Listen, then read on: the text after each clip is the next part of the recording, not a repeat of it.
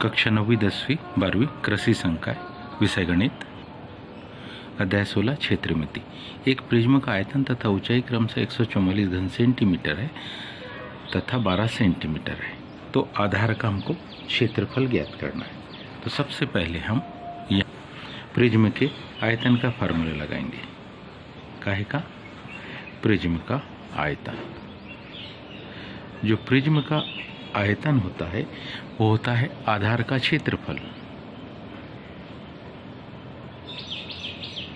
आधार का क्षेत्रफल गुणित ऊंचाई के बराबर। हमारे पास में दोनों जानकारी दी है, क्योंकि हमारे पास में क्या दिया है? प्रिज्म का आयतन दिया है। प्रिज्म का आयतन प्रिज्म का आयतन, वो हमारे पास है, कितना? 144 घन सेंटीमीटर। प्रिज्म का आयतन है, और प्रिज्म की ऊंचाई। प्रिज्म का आयतन दिया, और प्रिज्म की ऊंचाई भी हमारे पास में दी है। कितनी दी है? तो वो दी है 12 सेंटीमीटर।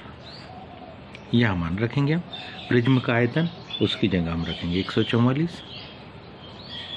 बराबरी से क्या? आधार का क्षेत्रफल। इसको हमको ज्ञात करना है।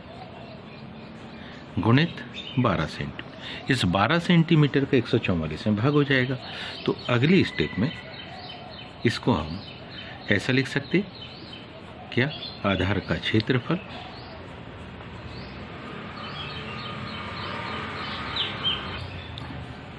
बराबरी से?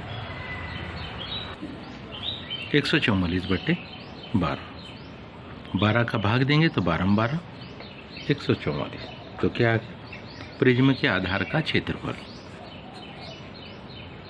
अतः प्रिज्म के आधार का क्षेत्रफल। अतः प्रिज्म के आधार का जो क्षेत्रफल हमको मिला वो कितना मिल गया? बराबरी से 12 सेंटीमीटर। उम्मीद है आप सबको ये समझ में आया होगा। आज के लिए इतना ही, शेष कर धन्यवाद।